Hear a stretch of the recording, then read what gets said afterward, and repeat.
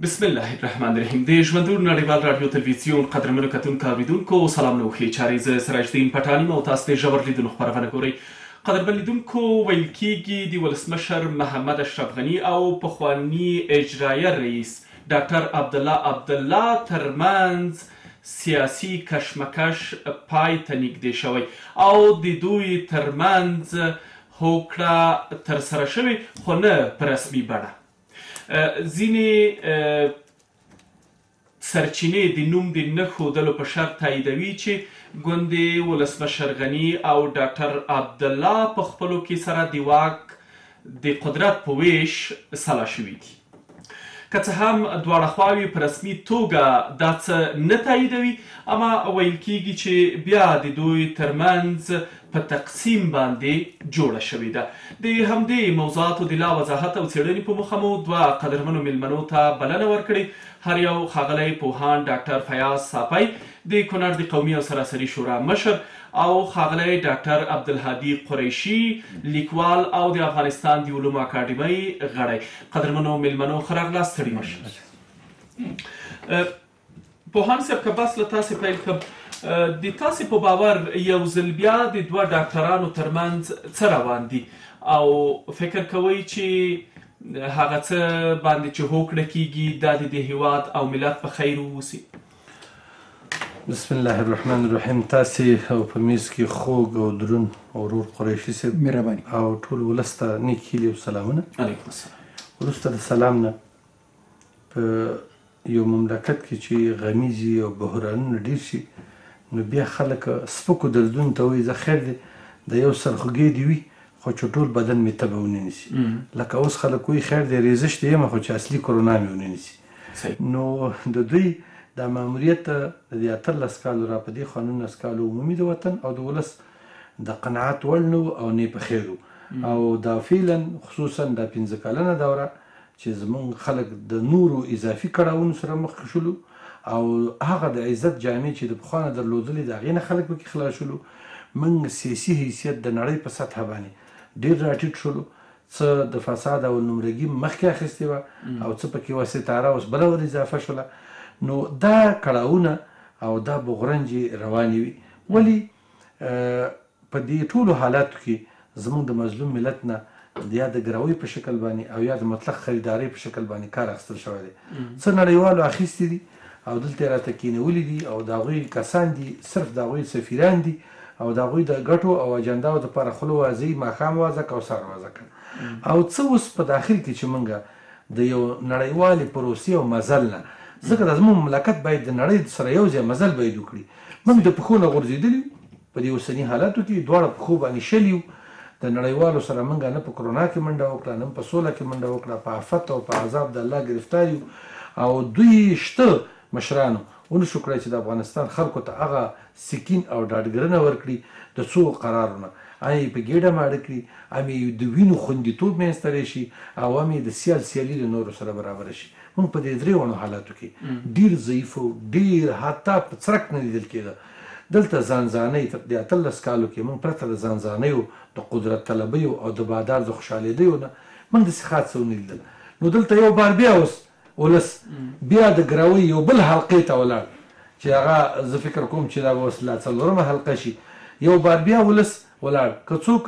په دغې دوو ډلو کې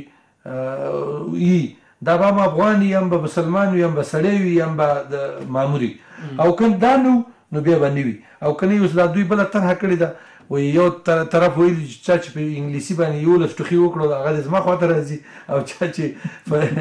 انګلیسي باندې ټوخي خو نه کړل او لږ دسمالک ور سره عادي بل طرف ته راځي دا په خپل زه فکر کوم چې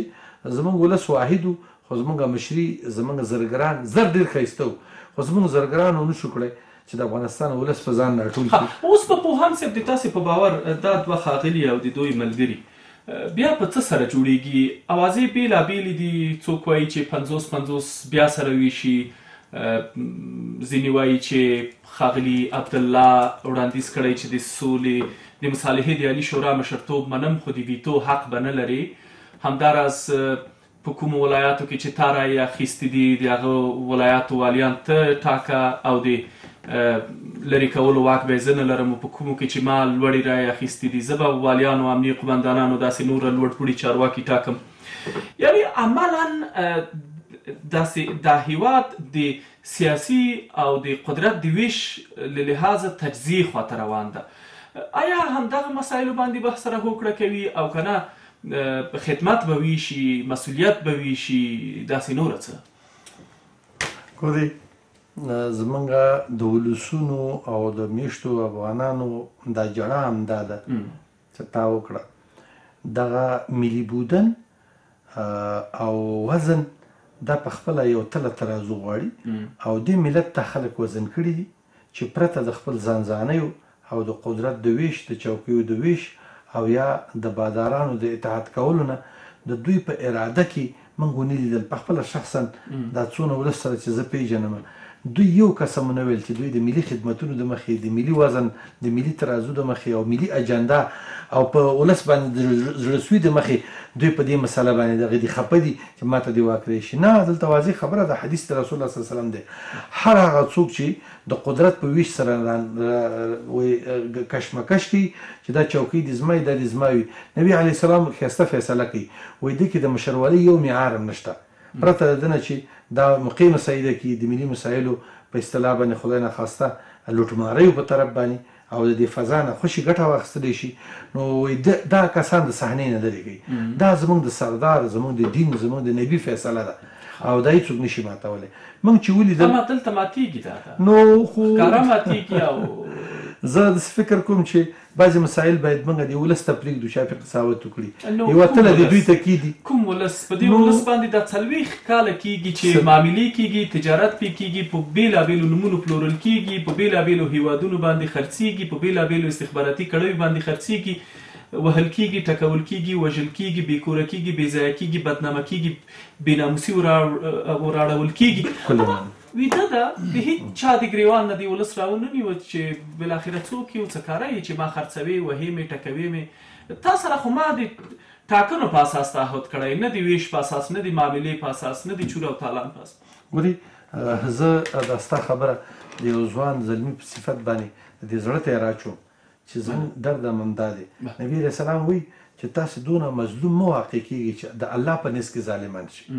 ځکه تله خو الله سره ده ظالم مظلوم شهيد او ناشهيد دا خو الله معلوموي مونږ خو دلته يو عدس وهو چې پلانی به شهيد شوی جنت ته به ځي دا زمونږ فکر دی مونږ دعا کوو نور خو دا فيصله د الله ده چې څوک جهنمي کوي او څوک چيته بيي زمونږ ولس واقعا د همدې رهبرانو د خوا نه د همدې مشرانو د خوا نه د همدې سياسيونو د خوا نه په طول د تاريخ کې همیشه ډیر خوشی استعمال شو ای کاش دسی استعمال شوی وی چه هغه عزت تی اغستل شوی نه وی ده مونږ نه زمونږ ده مور عزت ده ملالی اوربل او زما ده وزیر اکبر خان تاریخ او زما ده احمد شاه بابا تاریخ هم خرڅ شو توپانچه می خرڅه شوله مګم دا ولس رښتیا هم دومره مظلوم دی چه ظالم دی. او دا به ځکه د الله په عذاب ګرفتاره دی، هلته د الله قهر راځي چرته چې سړی په خپله په ځان باندې قهر به نازل کړي، زه ستا دا خبرې ته دا ولس ولې ځي او په دې اخترونو کې او په خوشحالیو کې دمدې خلکو تر شا چک چک کوي او لاسونه ورته چپوي چې دوی نه زموږ په مړي کې دي نه زموږ په درد کې دي، دوی د دې وطن په استرخان کې خواږه دوی خوري ترخه موږ ته راټېله کوي، صحیح؟ نو زه دسې سره کله منم. ډیره زیاته مننه پوهاند صاحب تاسو ته بیا راوګرځم ډاکټر صاحب تاسو ته راځم تاسو یو ځل بیا د دې دوه ډاکټر صاحبانو ترمنځ د ویش اوازې څنګه ارزوي څومره یې تاییدوي او څومره فکر کوي چې بیا د دا دوه ډاکټران او د دوی ټیمونه او ملګري د دې ملت د په سترګو کې دې دومره حد ته په بې شرمۍ سره ورننوځي چې هر څه دې بیا تقسیم کړي او بالاخره واک ته د رسېدو لپاره دې نه قانون په پام کې ونیسي، نه د افغانستان د خلکو عزت، رایه، شرف او اراده. د لوی خدای په نامه د جناب محترم پروفیسور صاحب، جناب ډاکټر صاحب او تاسو جناب حاجي صاحب او هغه ملګري چې موږ ویني، اوري، زما سلامونه تاسو ته احترامونه مې ډالۍ کوم بریالي اوسېږي ښاغلی پروفیسور صاحب چې کوم څه ویلي د هغه د خبرو نه په تعقیب باندې یعنې زما د تایید وړ خو زه هغه برخه چې یو وخت کې زما مسلک و او زما په ما په همدې مسلک کې د معاون رئیس جمهور پورې هم روزلي دي بالفعل چالان دي کارې هغه یو څو استخباراتي خبرې دي چې تا په هم یو اشاره خبرو کې وکړل جناب ډاکټر صاحب هم ویل چې بهراني مزدوري په دې دوه خبرو باندې تم کېږم چې یو دا ملت سره کوم ملت ده او بل دغه سیاسي قماربازان او د سیاسي دکانداران څه رقم خلک دي زما خپله د دوی دواړو په نامه باندې شرم ورسي سپینه خبر مخامخ بنام دکتر صاحب عبدالله او د ښاغلي غني په دواړو نومونو باندې زما شرم راسي او دا ښه خبره نه دا ښه خل نو دی شایسته کارونه ونه کړ دا زما د زړه بړاس نه بلکې دا د ملت د زړه بړاس دی تاسو یقین کوي چې زه د په موټر کې پرون غرب باندې راتللم خو ما نشانه نه کړو ځکه د ټولو پوزونه تړلي وو یعنی کچیر دوی افغانان وو چې د افغانانو په کلچر کې به خبر دی پوچه خبره پول یعنی پوچه شکنځل چورته ویل کی د دې دواړو په ادرس باندې هغه پوچه شکنځل وکړ زه بیا ادب ودی ته معلوم نشم یعنی دشنامی بسیار سخت زشت بر ادرس یې داکتر ته مونږ د دې ادرس په دې ادرس ته باندې مولې د هغه د ډلو د پاره مې ولې د ایران د بچانو د پاره مې ولې د مسکو د بچانو د پاره مې ولې د پاکستان د بچانو د پاره مې ولې د امریکا د بچانو د پاره مې ولې د سونم چې یو وخت یو چا ولې چې د ایران جمع مسکو ورشزان په مقابل کې د سنې ده په دې کې د متحده ایالاتو ژوندې لاس په دې ځکه دی زه په دې باندې پوهیږم په دې کې لپاره چې په یو ځای کې ستونزو ته ستونزو سره مخ ستونزو سره مخامخ شي یو شمېر سیاسي دکانداران هغه د تروستسکي او د ستالین او د هغه کچا لوستلي اوسي په معنا کې نو دا همداسې یوه قصه وه خو زه نه غواړم هغه لغت تکرار کړم چې دغوندې سپکاوی به راځي ډېر دې ته موږ فینټ ویل کېږي په استخباراتي اصطلاح کې فینټ څه ته ویل کېږي فینټ یعنی په چالوول باندې او څه مابین ته راوړل چې هغه د چالوول ته د ظلم دیوال چاپیرول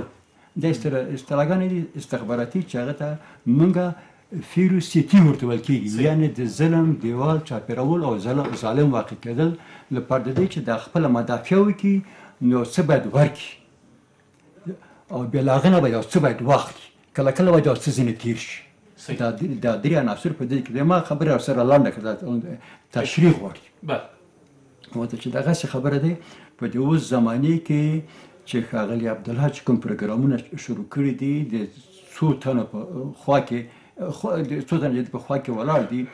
دا هم ښه خل نه وو دا هم ښه سړی نه وو دا هم ښه سړی نه دی په تیره زمانه کې هم ده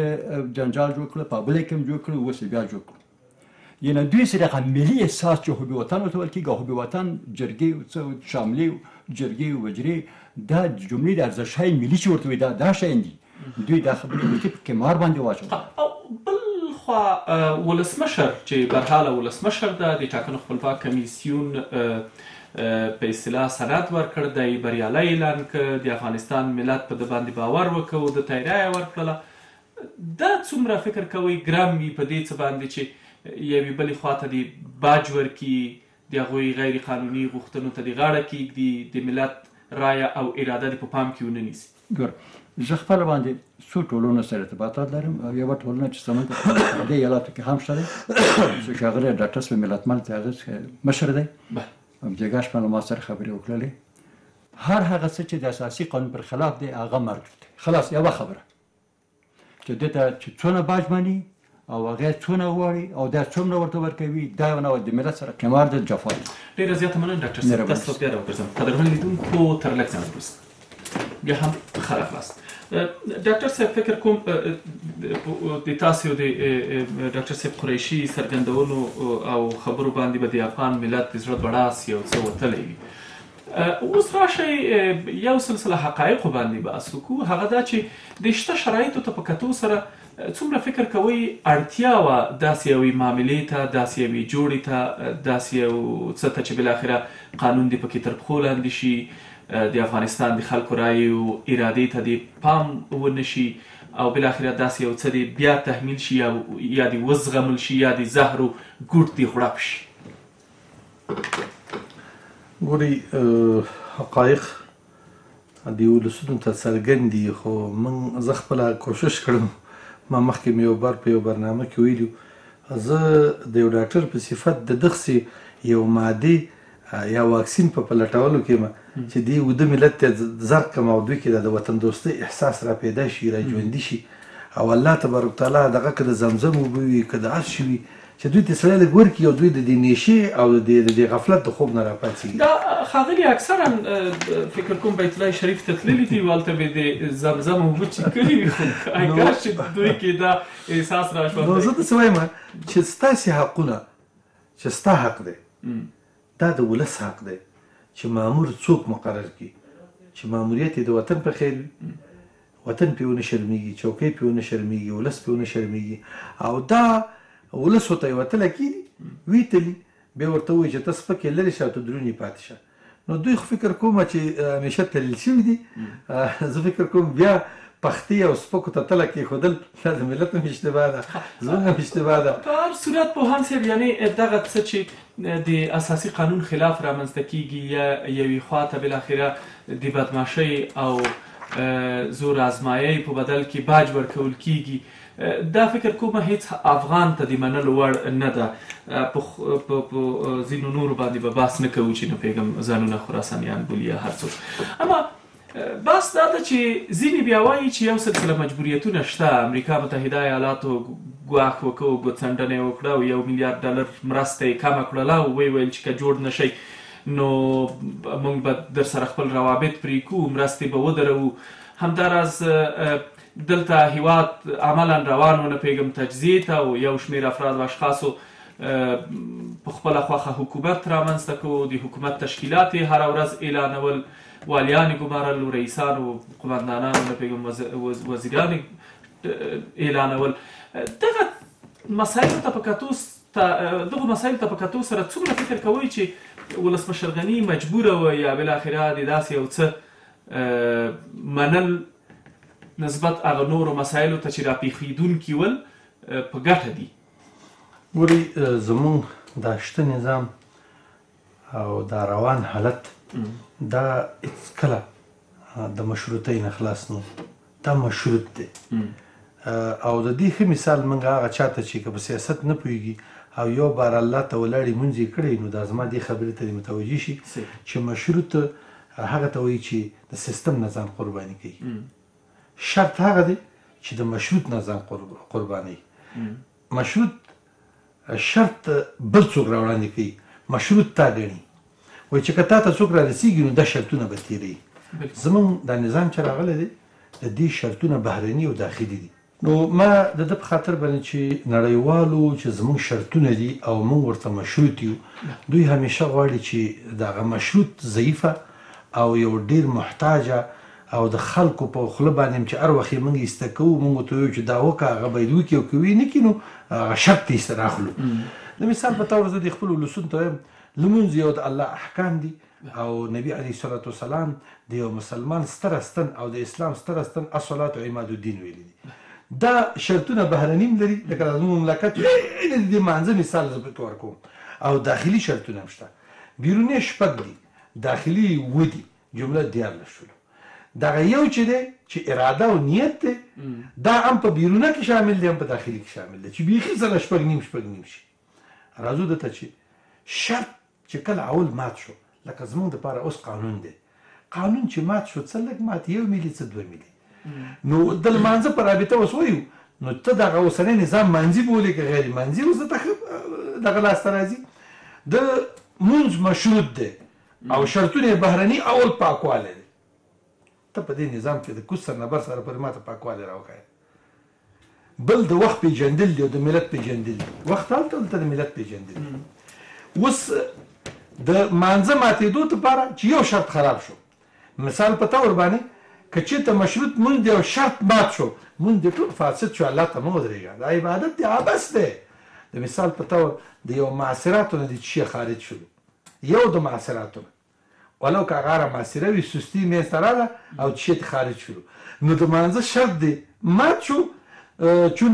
مشروط مونځ دی دا مونځ پرېږده د دوی زه وایم یو څاڅکی یورین یو څاڅکی ادرار په یو بیلر کې واچوه چې زر ملي لیټره دی بیلر دوه سوه ملي لیټره دی دغه ټول بیلر باندې بیا اودس نه کېږي شرط مات شو مشروط نه راځي زه فکر کوم د دوی دا اوسنی تقسیم دا اوسنی حالت دا اوسنی روان کړکېچ زه د ټولو ولسونو ته وایم چې دا ستاسو په خاطر نه دی او پوهان صاحب که د یوې لحظې لپاره داسې فکر وکړو چې ښه قانون دې په پام کې نیول شوی وای، اساسي قانون ته دې درناوی شوی وای، د افغانستان د خلکو رای او ارادې ته دې درناوی شوی وای او بالاخره ډاکټر عبدالله په وړاندې دې قهریه قوه کارېدلې وای، که چېرته یاغیتوب کوو، باغیتوب یې کوو، سرکشي یې کوله او د امریکا او نورو بهرنیو هېوادونو غوښتنو فرمایشاتو ته دې اعتنا نه وای شوې. څه راپېښېدای شوای؟ دا عمل هېڅکله دا نه کېدلو او نه به وشي، ځکه چې دلته زموږ تکیه، موږ دلته چې څوک ناست یو، د دوی ریموټونه د بل چا په لاس کې دي او هغه بیرون دي. زموږ د خیر او د شر فیصله چې ده بهر کېږي او دا ریموټونه درې دي، یو عالي ریموټ دی، چې دمغه ځینې چالانۍ راساً کار کوي، بل متوسط ریموټونه دي چې زموږ په چاپیریال کې واقع دي، دغه قراداتي خونکاران یا هغه قاتلین او ګاونډیان زموږ چې دوی ته قراداتونه ورکول کیږي او بل اخري ریموټ چې دلته داخل کې دی چې هغه شخص ته ورکول کیږي چې د اصلي ریموټ نه کنټرولیږي، هرګز دا کار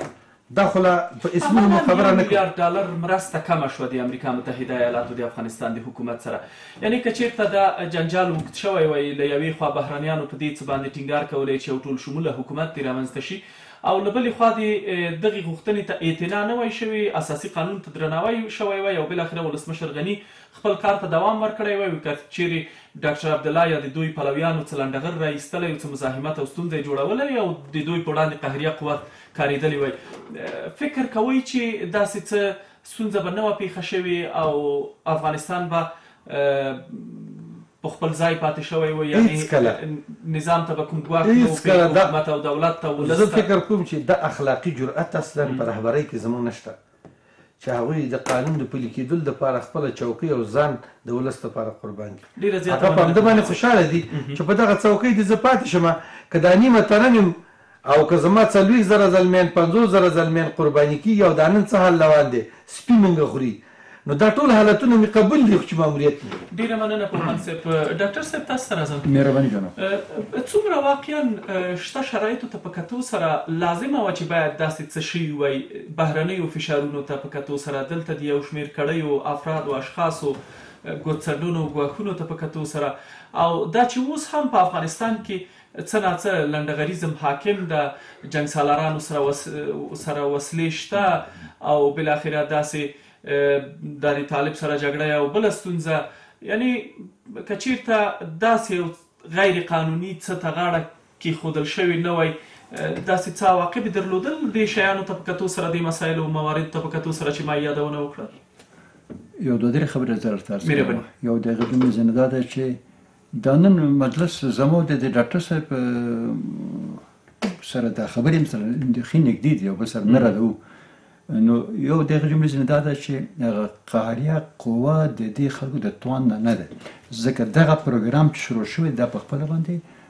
بهرنی لاس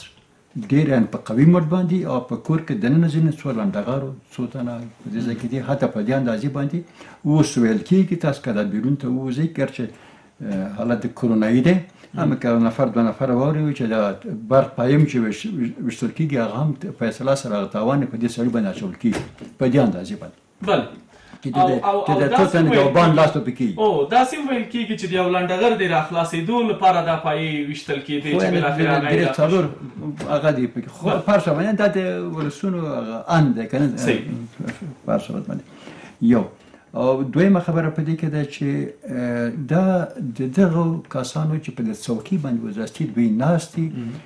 د دوی د صلاحیت ځینه نه ده چې دی ولګیږي او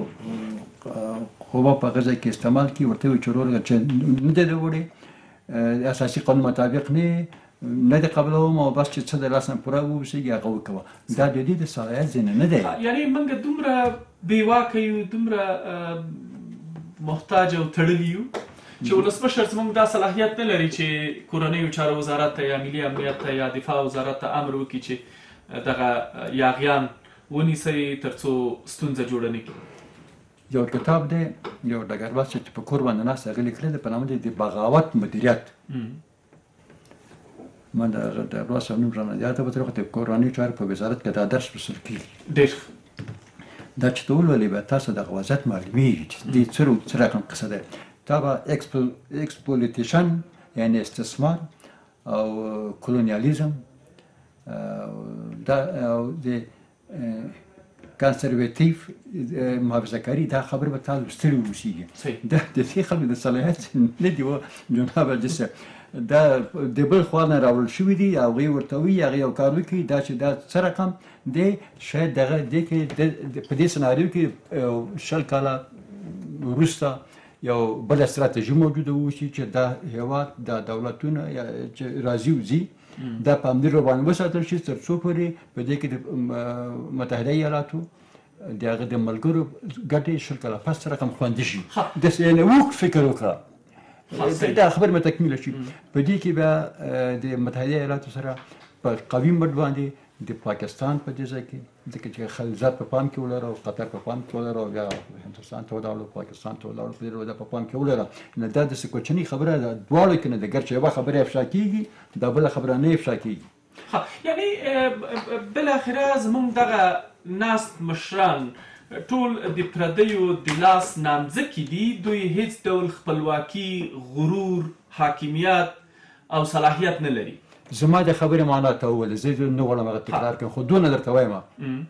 چې په دې ځای کې په قوي مټ باندې نامرئي لاسونه په دې ځای کې شته دی چې دا نامرئي لاسونه په هغه لوړې کچې باندې دي او هغه لوړې کچې باندې به چې ډېر پټ مخفي پروګرامونه به وان د منطقې په سطح باندې موجود اوسي د استخباراتي خبره ته عرض کړله چې په دې ځای کې فرض مثال د واخان نه د خواته د وردچو دې ځای کې چې وزاسي دا نوي پروګرامونه شروع شوي دي د دایشانو د نورو شاید داسې ووسیږي شاید ایران لپاره ووسیږي شاید د پاکستان د ترجیح لپاره پنځه ویشت کاله وروسته پروګرام ووسیږي د دې هېواد د یورانیمو په تور د مثال د د وړلو لپاره پروګرام وشيږي دا ورستنی بیا ژوره توګه باندې تحلیل په دې ځای کې په علمي توګه باندې پکار ده یو خبره بلم ته زیاتو ځینې ځینې کسان وایي که چیرې د سنې وشه د هیواد به ترزیه ته تللی وي د هر کار لپاره یو څه قانوني بنسټ باید موجود اوسي یعنی علمي توګه باندې باید موجود اوسي ما چې خپل ځان سره تحلیل وکړو او په دې برخه کې ورننه وتلم په اصطلاح سره شل یا دویش داسې عناصر په دې کې موجود دي چې دغه هیواد چې په دغه اوسنۍ جغرافیې باندې دی دغه یعنی سیاسي جغرافیه چې کومه منګ لرو جیوپولیټیک حالت باندې منظور دی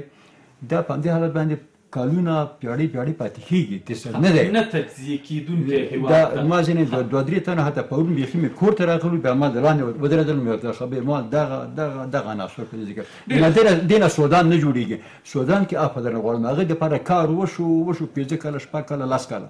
بالاخره هغه دې ته آماده کړ چې هیڅ خبر هیڅ نو بلاس ونه وته په دې هیواد کې بیا د کلتور په بل ډول باندې دی ارزښتونه په بل ډول باندې دي صحیح یعنی دغه دی ګوتو په شمیر افراد اشخاص چې نفاق تعصب بې اتفاقۍ تجزیه دې مسایل ته لمن وهي او په دې ټولنیزو رسنیو کې ویډیوګانې په دې وروستیو کې راوتلې دي چې که موږ داسې لاس تر زنې کینو دا د دې هیواد نوم هیڅ وخت نشو تغییرولی باید موږ د دې هیواد نوم په خراسان وړو ملي بیرغ بدل کو ملي سرود بدل کو دا او هغه دا یعنی هسې خوشې خیالات دي چې ځان سره به ګورته یوسي ګوره خټان صاحب زه دا ځوان نسل ته داسې په څرګنده باندې وایم زما خبره دغه د احساساتو خبره نه ده دا مې درته وویل د دې دپاره یو منطق پکار دی هغه منطق باید په حقوقو کې په جغرافیا کې په تاریخ کې او د افغانستان په کلتور کې دا شی باید نغښتې واوسېږي دا زه به نو څه وایم ډېره زیاته مننه ډاکټر صاحب تاسو بیا راوګرځم قدرمن لیدونکو تر لږ ځنډ وروسته بیا هم ښه راغلاست پوهان صاحب دا هم ویل کیږي چې پخوانی جنگي قوماندان یا نه پیګم د ملیش هغو ملیشو قوماندان چې زرګونه افغانان د په لاس وژل شوي یا د د افراد او اشخاصو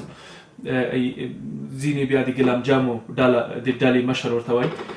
خاغلی دوستم ته ویل کېږي د جنرالۍ رتبه د مارشالۍ رتبه په بخنې سره ورکول کېږي دا څومره شونې ده او فکر کوئ چې ولسمشر غني دې دا څه مو ومني او دې حد ته دې راټیټ شي او بالاخره د دې ملت د دې هیواد او د دې ملت او هیواد د تاریخ او افتخاراتو په وړاندې دې دومره غټ ظلم وکړي ګوري زمون په اوسنی حالت کې فقط دغه مخکینی سوال یو جز رانه لږ پاتې بخنه غواړم تاسو مخکې ویل چې دغه حالت چې روان دي د کې څه منقصر کېدل دي ګوري کله چې یو سړی یو سنریو جوړي یو فلم زمونږ د افغانستان د مشرانو لپاره یو فلم جوړ لري دا فلم ګوره پنځوس کلن دی نولس کاله مونږ پکې مزل کړی دی یو دېرش دا خلک نور هم دغه تر څو چې دا خلک بیدار نشي او دا د د د د د بې عزتۍ نه ډک سریال د خپل سر نه لرې نه کړي په دې سریال او فلم کې چې بهرنیانو مونږ ته جوړ کړی دی په ده کې غل مل عسکر څوک څه وخت راننوځي څوک رئیس اجرایي شي څوک رئیس جمهور شي څوک د پولیسو قومندان شي دا ټول تعین دي پکې د کیپ تغیر نه راځي ځکه سریال کې هم داسې راغلي دي دا سریال به په مظلوم ولس روانه ده وخت لیکل شوې ده په د کې د غله او د مل او د پولیس ډوډۍ په یو کاسه کې ده کنه تی نن وګوره چې د دوی ټولو دکانداري او د بیرغ تیکه په یو دکان کې نه اخیستل کیږي همدا اوس له ټول نه بهترینه ډوډۍ او بهترین سفرونه د جنګ د هغه اړخ نه کوي دا ټول ملت یې راګیر کړی اوس نه دی دا ټول نړۍ اوس راګیر کړی نه چې ما سره په سیاست کې کینه ګوري دلته خبره بیخي واضح ده فقط همدا انتظار زه د دې ولس ته وایم چې ته د څه په نامه باندې چوپ شوی دا چوپتیا خو ستا په خیر نه ده دا سریال خو ستا په خیر نه دی د مور د لباس نه خلاص کړي د خور د زړوکي نه خلاص کړي د ځوان د وينو نه خلاص کړي د ځمکي د تماميت نه خلاص کړي فضاي دي ته په باروتو کړه دغه دنيا در باندي د جهنم يوه کنده ګرځولي ده د الله عذاب در باندي نازل دي د د دوی شتون د الله يو عذاب دي نو ته څه ته په تمه يې راځو د دي بل سوال ته اوس به ښاغلي جنرال دوستم ته د مارشالۍ دا بلکل شتوني ده دا بلکل ژوندانه بايد پخوا شوي وي ځکه زموږ او ستاسي په هيواد کي د مشرولۍ معیار علم، ادب، پوهه، صداقت او ایمانداري نه ده؟ نو ته په هغه تله باندې ځان تلې چې هغه خپله سپکه وي. کومه تله چې پکې یو خورد وزن پروت دی او ته پرې د وطن اصیل وزن راوړې، اوه کیلو تلې، دا زموږ اشتباه ده. دلته د قدرت د رسېدلو دپاره مه فاکولتې وې وي، مه ژورنالېزم وې وي، مه طب وې وي، مه ډاکټري وې وي، مه انجنيري، نه حقوق، مه سياست کوئ. دلته زور پېدا کړئ، ډېر مړه کړئ، وينې يې توئ کړئ، په کانټينرونو کې يې وسېزئ، پلارو يې مړه کړئ، په قومي لحاظ، مذهبي لحاظ، سمتي لحاظ، نژادي لحاظ او اسلامي لحاظ او د دين د معتبرو کلمو نه نوم واخلئ. الله اکبر او مجاهد یم جهاد کوم دا وجنم هغه وجنم دا چې دی پوره کړ بهرنیان ته یو ګیچ مهم دی پټان صاحب دا خبره واوره بهرنیان په هر فرد باندې دلته یو پروژه تطبیقي ورته وایي که سل افغانان دې بې ګناه مړه کړه تا دې پوسته ورکوم دغه د چوکۍ دغه د عزت چا چې لومبي سر کې پوره کړه هغه سرکردن دی ستا امیر دی دلته معیار د زندګۍ د افغانانو وژل، د افغانانو کړول، ځورول، بې عزته کول، جامې تېستل، دا د زندګۍ او د مشرولۍ معیار دی. نو په دې معیار باندې زه فکر کوم چې هغه بالکل برابر دی. ها، نو دلته خو د مارشال شاه ولي خان لپاره معیارونه بل نور څه ول؟ چې هغه د افغانستان رښتینی مارشال شو اما دلته څو کاله وړاندې پخوانی ولسمشر ښاغلی کرزي د نظار شورا یو قومندان ته د مارشالۍ نوم یا لقب یا رتبه ورکړل او اوس بالاخره ښاغلی دوستم ته ویل کیږي د مارشالۍ رتبه به په ټټر ور وټومبول شي دا واقعیت د ملت او د هیواد یا د دې هیواد له تاریخ ویاړونو افتخارات سره څومره جفا ده فکر کوم نو ما مخکې ته ویل چې که موږ په دې باندې تل او ترازو وکړو چې څوک په افغانستان کې فعلا د مارشالۍ وړتیا لري نو هغه نه باید د کلمې طیبې پوښتنه وشي چې ستا کې فرایض څونه دي په اسلامي معیاراتو یو سړی برابر وي بیا په اسلامي مملکت کې باید ماشاءالله ته ورسیږي په دې باندې که زه نور خبره کوم زما د شان نه دا ډېره ټیټه ده خو زه یو کلمه وایم زه د ولسن طبقه ته وړکې فکایي کوم او ډېره په ځای ده کوم یو سړی ناست و زمانه تلله د غره په طرف تللی او په یو غټ ځای ناست لاندې سیند بهیږي دا زمانه تللی داسې غلی ناست چې ګوري یو یو یو یو وزه راغله او د یو زمري د غار په خوله کې د هغه په دې غټه تبۍ چې تیږه پرته ده په ده ویده شوله د یو باز یې څاري د باز دې وزې ته ویل چې بدبختې ته لاندې نه ګورې زه ګورم زما د سترګو دید زیات دی د دښمن د تبۍ په سر باندې دی اوس ځان واچولو ده کې د دښمن بچي راووتل او واړه واړه وزه ښه بلار به او يا لنګه دا يې ورودله خبره خلاص شوله خو دې وزې ورته ويل نيکي وکه نيکي وکه نيکي وکه بس خوشحاله سو چې ولا دا نيکي به ښه شي بله ورځ د يو مږې بچی په اوبو کې پريوتلی دی چې ټوپ کوي بيته کته غورځيږي ژمی دی دا يې په ټونګه کې نيولی دی ولا يې په يوه ګرمه جاله کې ځان سره کېنولې دی هغه زاغچه چې ورته وایي چې هغه ګرم شوی دی د لاندې نه یې د باز دغه دولسم وزر یا دولسم پر د باز یو پر لري چې هغه ووهل شو بیا پرواز نشي کولی دا یې وله وهلی د مږي بچي خو همدا کار دی بله ورځ چې باز پرواز کوي بېرته راغورځي باز پرواز کوي بېرته راغورځي بیا راغلی وزې ته ناست دی چې او غرقه شي د دښمن په کور کې بیا پرېوتلی وایي نیکي کوه نیکي کوه نیکي کوه هغې ویل نیکي خو مې وکړه وایي نیکي وکړه د زمري د زوی سره چې وطن پکښې سته شي تا د مکې د بچي سره وکړه خپل وزرونه دې پي ووهل. مننه پوهاند صاحب ډاکټر صاحب مهرباني فکر کوئ چې دا څه دې ومنل شي بالاخره په دې هوکړه کې په دې جوړجاړي کې دا کومې اوازې چې نن سبا خپرېږي او یا هم کېدای شي د ځینو افرادو اشخاصو لخوا ذهنیت سیازي وشي تر څو بالاخره یو څه وخت وروسته دې څه ته ذهنیتونه آماده کړي او څوک ورسره مخالفت ونه کړي او غبرګون ونه ښایي یعنې فکر کوئ چې ښاغلي دوستم ته دې د مارشالۍ رتبه یا نوم د مارشال نوم ورکړل شي وی فیل بچه چې که هغه اچوي دواړه کې شک نشته دی غټ ته بده بلا ده او څه نو په دې حساب باندې د غوسنی ترخه شرایط چې په دې وطن کې شته دا نازک او جنگي شرایط چې عام دن او قصدن د عادو د دشمنانو لخوا ځینې د کورنۍ د بارنۍ لخوا د ترول شوې دي تپل شوې دي او اعمال کیږي په دې کې شک نه دی خو لیکن خبره چې زو ته ور باندې مکس باید وکړو هغه دا ده چې ډیر وخت ټولې خبرې په عسکریت کې د هغه د وړتیا او استعداد په اساس باندې ورکول کیږي نو دغه چې د وړتیا او د استعداد په اساس باندې ونه وسیږي بلکې د خونی پیوند په اساس باندې د ژبني پیوند په اساس باندې هغه مذهبي پیوند په اساس باندې ووسیږي او بل اخر سیاسي سوداګري په اساس باندې ووسیږي نو دا به ناکام ووسیږي د ملت په وړاندې د کې شک نه دی اول اول به تم اول به ته نه منو اما اما فکر کوي چې خاغلی غنی دی دونه د سکارو کی د سکارو کی یعنی خاغل دوستن ته د مارشالې زه د اولنی خبره تکرار کوم چې هغه د فیل قصه مرته وکړه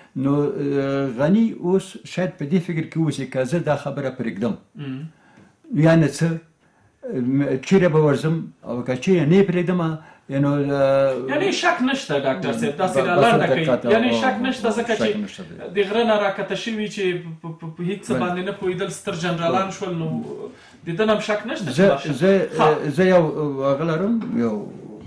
ورقه لرم چې په مسکو کې چاپ شو چاپ شو په هغه ځای کې اول نوم د ښاغلي فهیمو تر پایه پورې درې اوه نفره په دې کې دي له همدې درې له همدې قرې له همدې کلي له همدې باندې هله هله هله هله درې تنه یو د کونل نه و یو د جوزجان نه دی یو تن د فرازې نه و دا نور ټول د یوه کلي خلکو دا ټول مارشال نه تر برید جنرال پورې و ها ما سره خپل په کور کې موجود ده موضوع نو هغه زه چې هغه د هغه وخت وینم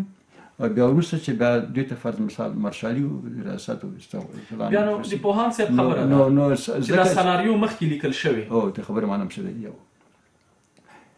لدینه پرته هر هغه څه چې په هغه باندې باید ملت ورنه ډیر فکر ورته وکړي چې نور نو بیداری پکار دی شاید د تا د اوس پروګرام هم شاید پای ته رسېدلی اوس ځکه دا وایم چې څه وکړو زه بخښنه غواړم مخکې د دې حل لارو نه غواړم همدې ته ورته یوه پوښتنه ولرم چې